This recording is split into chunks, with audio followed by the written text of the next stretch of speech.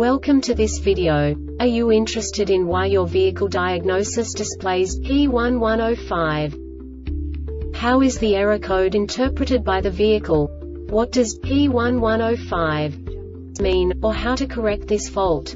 Today we will find answers to these questions together. Let's do this. First, let's look at the history of diagnostic fault code composition according to the OBD2 protocol, which is unified for all automakers since 2000. We divide the electric system of automobile into the four basic units. Powertrain, body, chassis, network. This distribution is defined in the first character code. If the second character is expressed as zero, it is a standardized error. In the case of numbers 1, 2, 3 it is a more prestigious expression of the car-specific error. The third character specifies a subset of errors. The distribution shown is valid only for the standardized DTC code. Only the last two characters define the specific fault of the group. Let's not forget that such a division is valid only if the other character code is expressed by the number 0. Our website airbagreset.sk produces useful videos for you.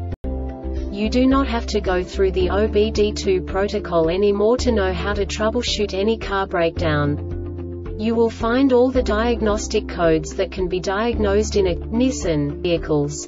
Also many other useful things. The following demonstration will help you look into the world of software for car control units. You unbelievably can move the video a bit further. The error code is split into two bytes consisting of 16 bits. One bit is the basic unit that each computer works with. The bit has two logical states.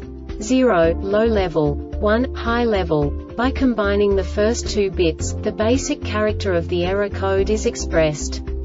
The next two bits again determine the second character.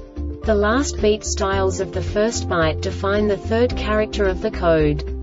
The second byte is composed of a combination of 8 bits. The first 4 bits determine the fourth character of the code.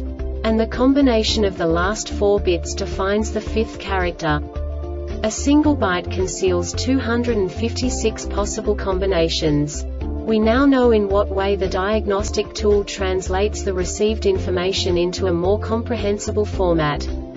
The number itself does not make sense to us if we cannot assign information about it to what it actually expresses. So, what does the diagnostic trouble code P1105 interpret specifically Nissan car manufacturers? The basic definition is driver seat heater circuit. And now this is a short description of this DTC code. The battery voltage must be between 9 to 16 volts heated seat operation is enabled. This diagnostic error occurs most often in these cases. One of the low side drive control circuits is shorted to voltage or ground one of the heater element voltage supply circuits is shorted to voltage or ground.